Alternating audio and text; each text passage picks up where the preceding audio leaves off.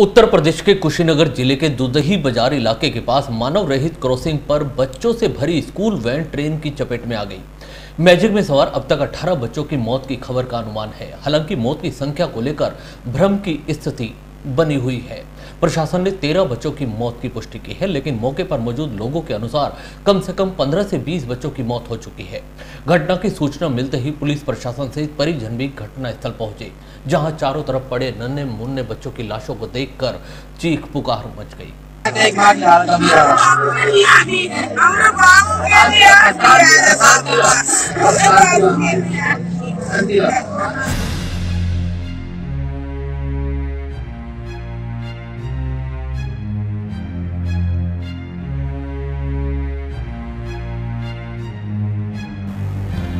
मामला दुदई बाज़ार स्थित एक स्कूल के बच्चों को छोड़ने जा रही मैजिक वैन के ट्रेन के टकरा जाने का है, जिसमें लगभग 18 बच्चों की मौत हो गई। मैजिक वैन मानव रहित रेलवे फाटक को क्रॉस कर रही थी, तभी अचानक एक पैसेंजर ट्रेन ने मैजिक वैन को टक्कर मार दी।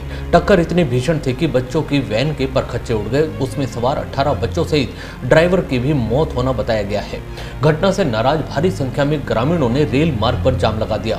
ग्रामीणों की मांग थी कि मृतक बच्चों के परिजनों को 50 लाख और घायलों के परिजनों को 25 लाख का मुआवजा दिया जाए। ग्रामीण लगातार रेलवे प्रशासन और केंद्र सरकार के खिलाफ नारेबाजी कर रहे थे।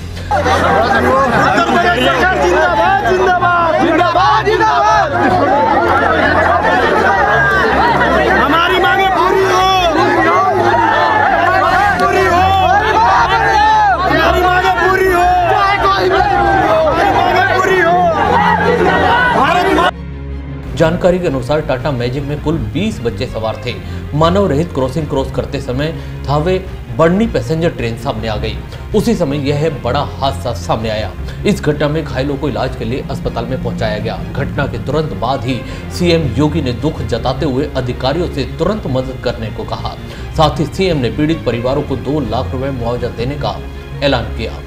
उधर पीएम मोदी ने भी हादसे की जानकारी मिलने पर दुख जताते हुए कहा कि बच्चों की मौत के बारे में सुनकर बेहद दुखी है। साथ ही प्रधानमंत्री ने सरकार और रेलवे विभाग को उचित कार्यवाही करने का तुरंत निर्देश दिया। साथ ही रेल मंत्री पीयूष गोयल और गृह मंत्री राजनाथ सिंह ने भी हादसे पर गहरा दुख जताया है। मुझे उत्तर प्रदेश से एक दुखद समाचार मिले। उत्तर प्रदेश कुशीनगर में जो हमारे बच्चे स्कूल वैन में जा रहे थे और रेलवे से टकरा गए। काफ़ी बच्चों की मृत्यु हो गई। बहुत बड़ी दुखद समाचार मुझे यहाँ आते ही सब मिला। बहुत पीड़ा हुई।